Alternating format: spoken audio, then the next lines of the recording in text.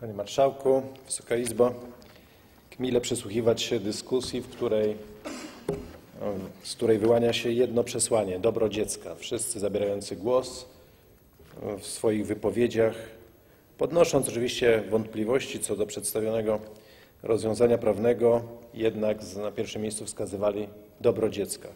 Ja chciałbym również wspomnieć o tym, iż to rozwiązanie, które zostało przyjęte przed trzema laty, ono miało na celu też precyzyjne zabezpieczenie praw dziecka do bycia szczęśliwym, do życia w rodzinie, wśród najbliższych.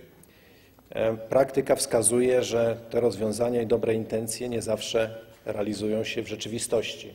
Stąd z dużą satysfakcją muszę przyznać i zdowoleniem, iż będziemy opowiadali się jako Klub Parlamentarny Polskiego Stronnictwa Ludowego nad dalszymi pracami nad projektem komisyjnym, co też jest godne podkreślenia, iż wspólnie potrafimy odpowiadać na te wyzwania rzeczywistości, które przed nami stają.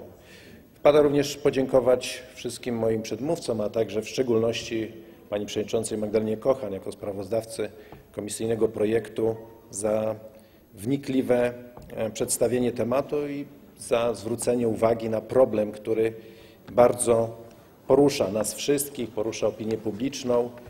Mam nadzieję, że rozwiązania, które wypracujemy, jednoznacznie uniemożliwią naganny proceder handlu dziećmi, naganne zjawisko wymagające tylko potępienia. Zrozumiejąc rodziców, którzy oczekują, by spełnić swe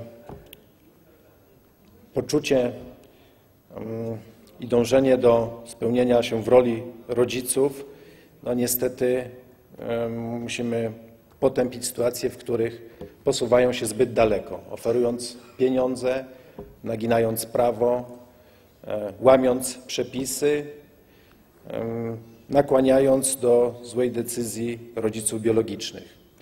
To rozwiązanie, które wypracujemy, powinno jednoznacznie i w sposób klarowny i czysty zapobiec takim nagannym sytuacjom, mając, co podkreślę zakończenie, przede wszystkim na celu dobro dziecka i zapewnienie mu jak najlepszych warunków do wzrostu i rozwoju, do bezpiecznego kształtowania swojego otoczenia i swojej przyszłości.